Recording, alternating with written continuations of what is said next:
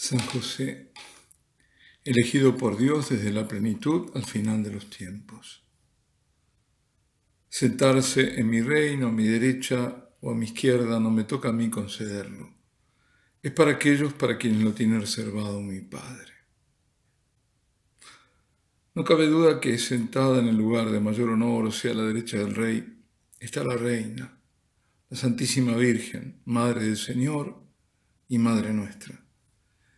Y es nuestra convicción que San José está a su izquierda, solo segundo de la Virgen. Pero ¿qué sabemos de San José? Según la Sagrada Escritura, muy poco. Aparece en las genealogías de Jesús, en San Mateo y en San Lucas, porque legalmente José es el padre de Jesús, o sea, es el padre según la ley. Y en los relatos de ambos evangelistas. Así en San Mateo lo vemos solo en los dos primeros capítulos, en el anuncio que le hace al ángel en sueños y en la huida a Egipto. En San Lucas aparece en el Evangelio de la infancia de Jesús, en los capítulos 1, 2 y 3, o sea, en la mención que hace de él el evangelista, en el relato de la Anunciación a María, el nacimiento de Jesús, después sin nombrarlo con su nombre, sino solo como Padre, está presente en la circuncisión y en el episodio del templo cuando encuentran a Jesús, que ya tiene 12 años. La comentada genealogía está en el tercer capítulo. En el capítulo cuarto, los coterráneos del Señor en la sinagoga de Nazaret, entre incrédulos y asombrados, exclaman, ¿no es este el hijo de José? El mismo episodio es relatado en San Marcos, en el capítulo sexto. Y algo parecido en el capítulo también sexto de San Juan, pero la ocasión no es en Nazaret, sino en Cafarnaún, en el discurso del Señor sobre el pan de vida. Murmuraban, escandalizados, los judíos, porque había dicho, yo soy el pan bajado del cielo. Y decían, ¿no es este el hijo de José? No conocemos a su padre y a su madre. ¿Cómo dice ahora que ha bajado del cielo? Y no hay más mención. Como se habla de hermanos de Jesús en los evangelios, los apócrifos inventaron un José viudo, con hijos y ya muy entrado en años o anciano, que se casa con la jovencita María. Pero esto es porque se ignora que sus hermanos no eran tales, sino parientes cercanos de esa familia alargada. Y luego porque ¿Cómo hubiera podido un José anciano, por ejemplo, huir a Egipto con María y el niño con todo el esfuerzo que ello suponía? El custodio de la Sagrada Familia debía ser fuerte, vigoroso, para poderla tener bajo su custodia, su cuidado. San José era joven y virgen. San Jerónimo defiende su virginidad en su escrito contra el vídeo, dice, tú dices que María no fue virgen. Yo reivindico para mí aún más, a saber que también el mismo José fue virgen por María, para que del consorcio virginal naciese el Hijo Virgen. En el santo varón no hubo fornicación y no se ha escrito que haya tenido otra mujer. De María fue más bien custodio que marido de donde se sigue haber permanecido virgen con María, quien mereció ser llamado Padre del Señor. San Pedro Damián, estamos en el siglo XI, por el año 1000, escribió, no parece que fuese suficiente que solo la madre fuese virgen. Es de fe de la Iglesia que también aquel que hizo las veces de padre ha sido virgen.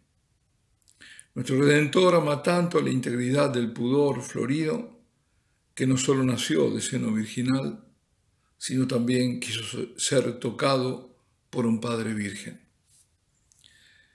Existe la, la creencia fundamentada de una consagración a Dios de la virginidad. En las palabras de la Virgen al ángel de la Anunciación, dirigidas en forma de pregunta. Ahí es donde se se manifestaría ¿cómo será esto si yo no conozco varón? Lo cual carecería de sentido, porque aunque no vivían juntos, ya era prometida esposa de José.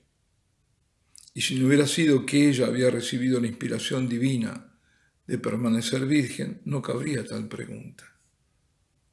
Su permanecer virgen, después de la convivencia, debía ser participado y aceptado por José. Por tanto, también él debería tener un voto de virginidad. Así lo asegura San Francisco de Sales.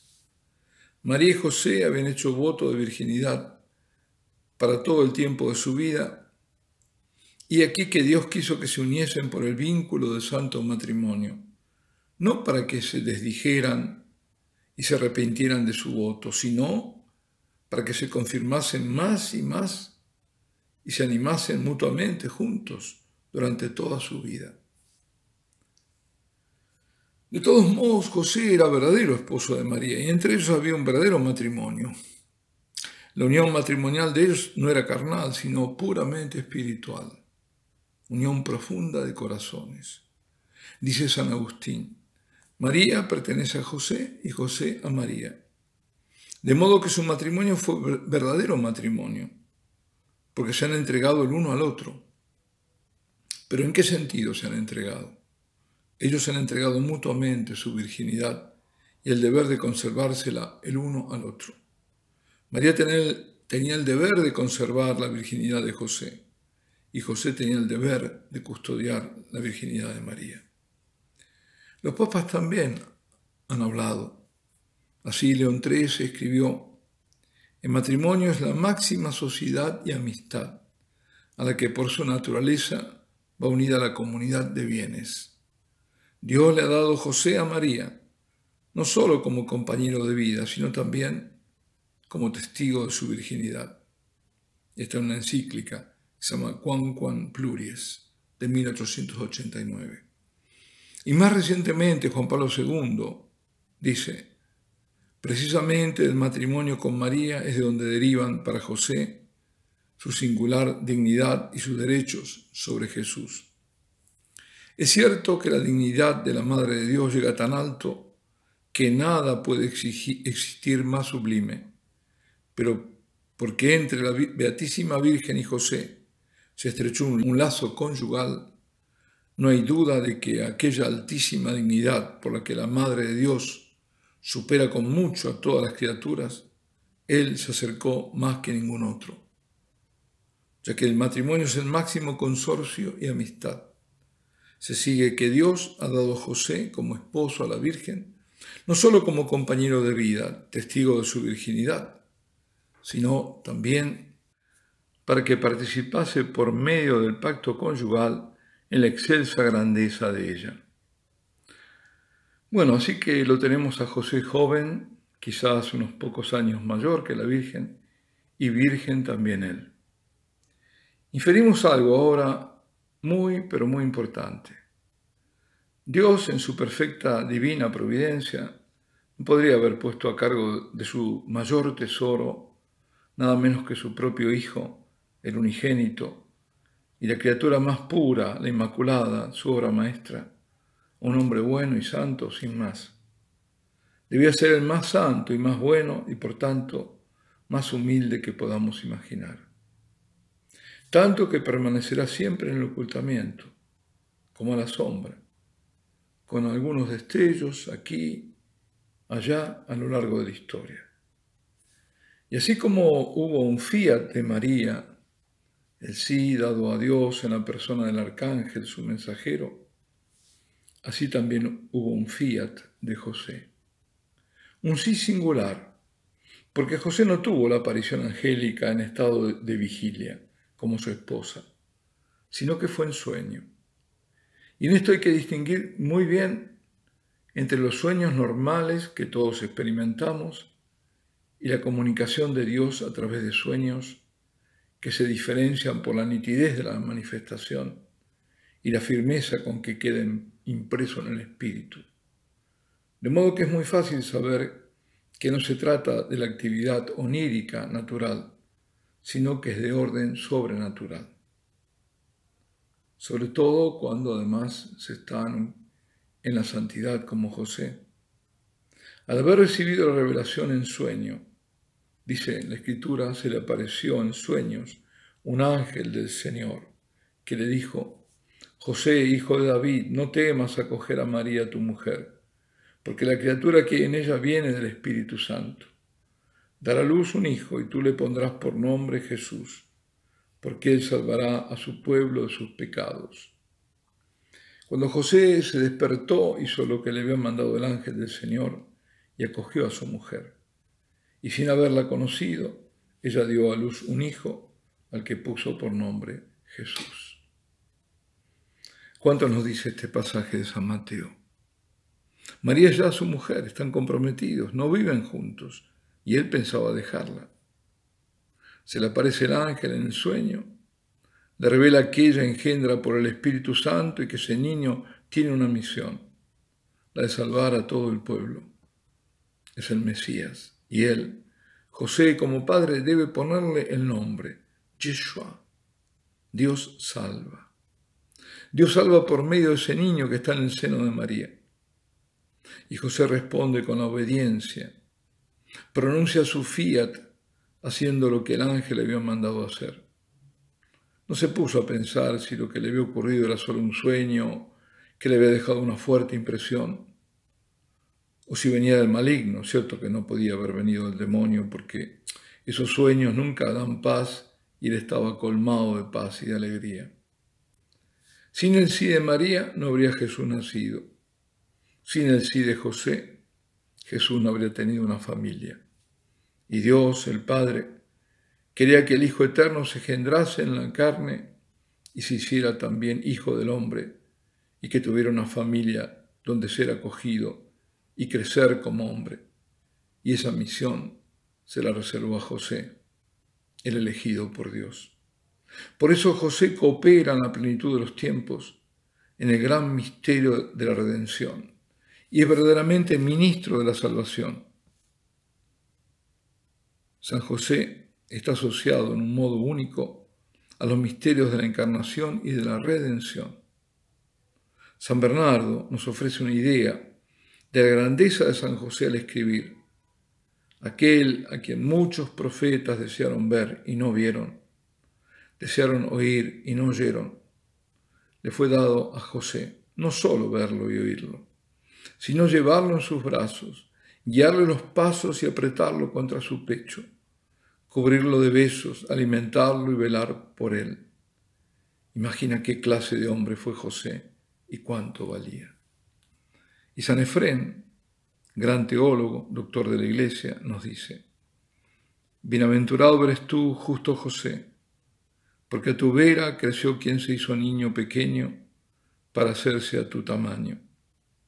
El Verbo habitó bajo tu techo sin abandonar por ello el seno del Padre. Quien es hijo del Padre se llama hijo de David e hijo de José. Pero así como la misión de la Santísima Virgen no concluye con dar a luz al Salvador, sino que, por lo contrario, es allí donde comienza para prolongarse en la eternidad y venir ahora como corredentora a terminar la obra de salvación de su Hijo en nosotros, en estos últimos tiempos. Así también la misión de José empieza en aquel momento que despierta del sueño y obedece al ángel, sin nada cuestionarse, para continuar durante la vida en la tierra y ahora prolongar, prolongar esta paternidad. Porque este es el tiempo de San José, de protector de la iglesia, en el que sale de su ocultamiento porque este es el final de los tiempos. Y esto me concierne en lo personal, porque allí me he consagrado a José. El 7 de junio de 1660, un joven pastor de nombre Gaspar Ricard se refugia con sus animales a la sombra de los árboles del cerro de Sillón. Esto está en la provincia de Bar, en el municipio de Cotignac. Justamente ahí, Cotignac fue el lugar. Era la una, estaba sediento, pues hacía mucho, mucho calor. De pronto un hombre de contextura imponente surge delante de él y le señala una roca y le dice, gran roca, yo soy José, levanta esa roca y beberás. No podré, es demasiado pesada, le responde. Sí podrás. Entonces el pastor se acerca y con gran sorpresa mueve la roca al primer intento, y una fuente de agua viva comienza a fluir en el lugar. Gaspar corre y bebe con avidez. Cuando se levanta, el hombre había desaparecido. El pastor corre a anunciar la novedad al pueblo, donde nadie le cree. Pero algunas personas deciden seguirlo para ver ese manantial que él decía. Y cuando llegan, ese gran alborozo, porque corre agua en abundancia desde hacía tres horas, y todos constatan que la roca que Gaspar movió tan fácilmente no se mueve sino la empujan al menos ocho hombres y fuertes. Entonces Gaspar adquiere conciencia de la fuerza que le fue dada por el cielo y exclama, el que estaba ahí era San José, él me dio la fuerza. Todos ellos se arrodillan y le dan gracias a San José. Y posteriormente las curaciones obtenidas por la aplicación del agua milagrosa traen multitudes hacia ese lugar, Cotignac. Pensemos esto, que nos deja? Que San José te da fuerzas. San José hay que invocarlo para que nos dé fuerza en estos tiempos y para que el manantial de agua viva, que es el Espíritu Santo que viene del costado de Cristo, nos llene con su agua, que nos refresque, nos renueve, nos restaure. El culto a San José hasta entonces era inexistente en ese lugar. Y a partir de ahí, por supuesto, toma un impulso extraordinario. Y se extiende por toda la Provence, porque esto está en la Provenza, en, diócesis ahora de Frigis-Toulon, en Toulon. Y con los donativos que reciben y con la aprobación del obispo de Frigis-Toulon, se construye una capilla en el lugar. Hoy a cargo de ella estaban las benedictinas y ahora hay otro grupo de, de monjas. El rey de Francia, Luis XIV, decretó que a partir de ese momento la fiesta de San José fuera día festivo en todo el reino de Francia. Al año siguiente, el 19 de marzo del año 1661, el rey consagró Francia a San José. En marzo del año 1917, el obispo de Fregis-Toulon afirmó en una carta que la brevedad del mensaje de San José en la aparición de 1660 muestra que el santo custodio no es hablador. Nada más simple ni más pobre que esa intervención. La única aparición de San José de este tipo en toda la historia de la Iglesia, en una tierra que se ve reservado ya para sí Nuestra Señora. Fijémonos que la única aparición en que aparece solo San José, la única, que está aprobada por la Iglesia además, Sí, porque muy cerca de allí, pero ahí mismo Cotiñaca, muy cerca, se va caminando. La Madre de Dios había aparecido más de 100 años antes. Fue en 1519 que la Virgen, bajo la advocación de Nuestra Señora de las Gracias, también visitó Cotignac. El 10 de agosto de 1519, en la fiesta de San Lorenzo, la Virgen María, acompañada de San Miguel Arcángel y de San Bernardo, se apareció en el campo un hombre muy piadoso de nombre Jean de la Bombe. La Madre de Dios entonces le ordenó decir de su parte al clero y a la comunidad de Cotignac que vayan en procesión Monte Verdaille y construyan una iglesia bajo la advocación de Nuestra Señora de las Gracias, por su deseo de conceder muchas gracias y favores a quienes le invoquen en ese lugar con fe. Y hubo peregrinos famosos, el más famoso fue nada menos que el rey Luis XIV, porque su madre no podía quedar encinta. Y entonces, por su confesor, fue eh, que le indicó que había aparecido la Virgen, fue hasta allá en, en peregrinación la reina, y así fue que nació el rey Sol, Luis XIV. Quien agradeció justamente fue ahí para agradecer el don de su nacimiento. Bien, pero San José apareció después varias veces, pero acompañado.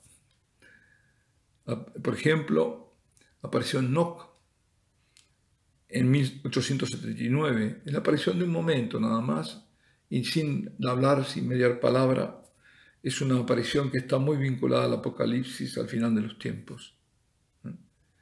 Y aparece ahí la Santísima Virgen, a la derecha está San José, a la izquierda San Juan el Evangelista, y está el, Cordero sobre el altar y ángeles alrededor. Bueno, ese santuario de que está en Irlanda, santuario mariano, nacional de Irlanda. Aparece también en Fátima.